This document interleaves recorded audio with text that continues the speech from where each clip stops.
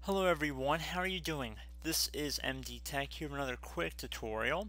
In today's video, I'm going to show you guys how to lower your ping for your Windows 10 computer. So if any of us play online games or use a lot of bandwidth on the internet, you might notice that a high ping correlates to slower performance. So in this brief tutorial, I'm going to show you guys how to hopefully speed up your computer's internet a little bit. So we're going to jump right into it and we're going to start by opening up the start button and you want to type in regedit, R-E-G-E-D-I-T. Best match should say regedit. You want to right click on it and then left click on run as administrator. If you receive a user account control window, you want to select yes. Now into the registry editor, what we want to do now is, I'm actually going to make it a little bit bigger here so you can see where we're going. And we're going to start by going over and opening up the HKey local machine folder right here. So you want to left click on the little arrow next to the HKey local machine to expand it, or you can double click on the folder itself to achieve the same result. So again, just expand that. Now that we've done that, you want to look for the software folder right here. Expand that one as well. And now we can go and select the Microsoft folder, expand that one. In order to make this side column a little bit wider if you're having trouble reading in here, just left click in between this bar and you can see a little arrow comes up. Just drag it over to the right so you can see a little bit better, as far over as you need to go.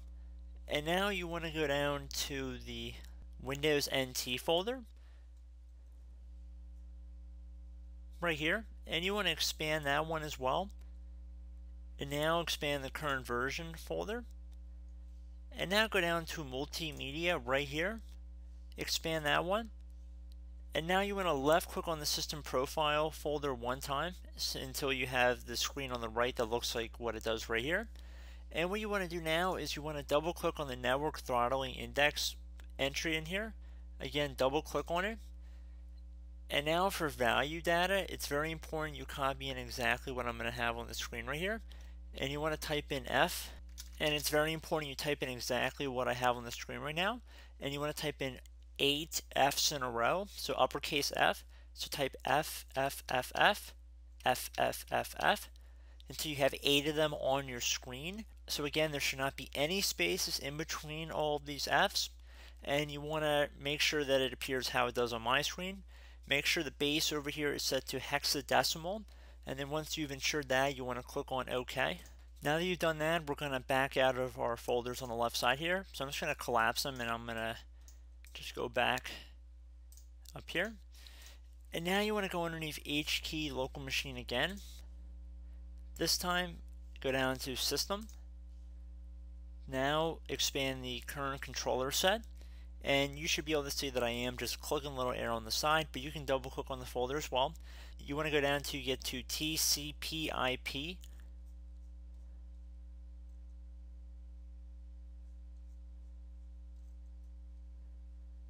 right here. Expand that one. And now there should be a parameters folder. Expand that. And now there's an interfaces folder right here. Expand this one as well by clicking the arrow next to it. And now you might have a few subfolders in here. You want to select the one that has the most amount of information. So if you click on all three, if you have three, you want to find the one that looks like there's the most amount of stuff in here. You want to right click inside of some empty space near the bottom preferably. Right click like I said and then left click on new and then select D word 32-bit value and then you want to type in TCP ACK and the TCP should be all be capital and then ACK and then type in frequency. Exactly how it appears on my screen make sure the spelling is correct. Can't stress that enough. Then you want to hit enter. And now go back down here again. Left click on new, select D word 32-bit value again from this list, and now you want to type in TCP, no, the N should be capital, and then delay, the D in delay should be capital, and then you want to hit enter. And I should also note the F in frequency for the previous D word value we created should be capital as well. And I should also note at this point that I am going to show you guys how to make a backup of your registry before you perform any of the steps in this video, but we're not done yet. I just want to keep you guys informed that we are going to go through how to make a backup of your registry. I would recommend you do that before doing anything I'm showing in this video, but we'll do that in a couple minutes here once I get further along in the video and once we're done with what I want to show you. So now that we've created these two values, you want to first go to the TCP ACK frequency we created and just double click on it. So now for value data in here, you want to set it to 1 and then you want to click on OK. And you want to go back to the TCP no delay, double click on that, set the value data to 1 as well. Just type the 1 into this field here. Click on OK. Once you've done that, we can back out of some of this. And you can also note on the top here we have the path of where I am. So if you ever get lost in the video, you're more than welcome to just to refer to this up here. And once we've done that, what we're going to do now is navigate over to HK local machine again. So let's go back up to the top, close out of this stuff. HK local machine, go down to software, expand the software folder.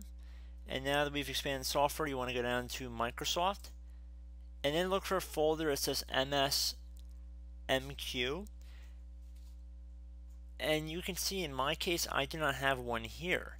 So if you do not have the MSMQ folder, you want to go up to the Microsoft folder right here, right click on it, left click on new, left click on the key option. Now you want to right click on which should hopefully say new key number one and we want to rename it MSMQ. Exactly how it appears on my screen, so MSMQ. Hit enter now that we've created this folder in the event that it was not already here, you want to right click in this space here, left click on new, left click on DWORD 32-bit value. Now you want to type in what we did before, TCP all uppercase, no, the N and no should be uppercase, and then delay.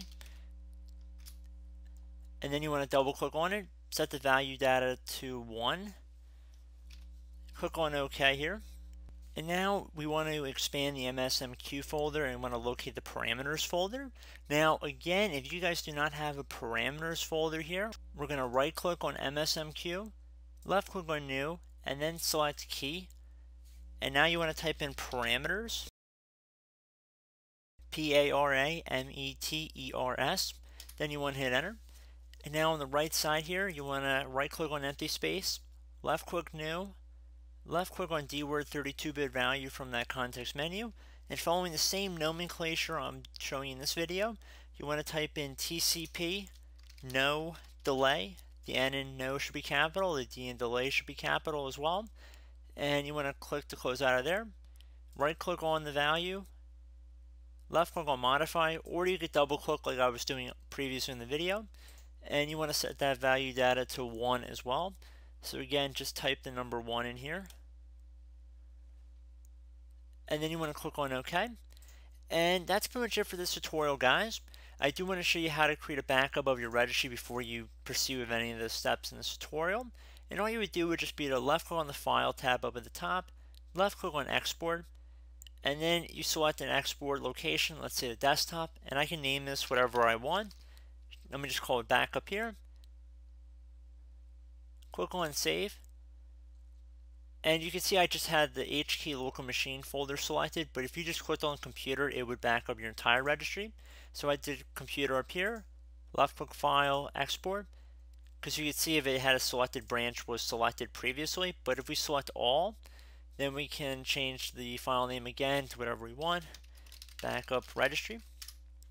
Just hit enter to save and then if you ever wanted to import the registry to restore back you just go up to File, Import, and then you would just locate the registry entry, click on Open, and that's pretty much it guys, pretty straightforward. So I do hope this brief video was able to help you guys out, and as always, thank you for watching, and I look forward to catching you all in the next tutorial.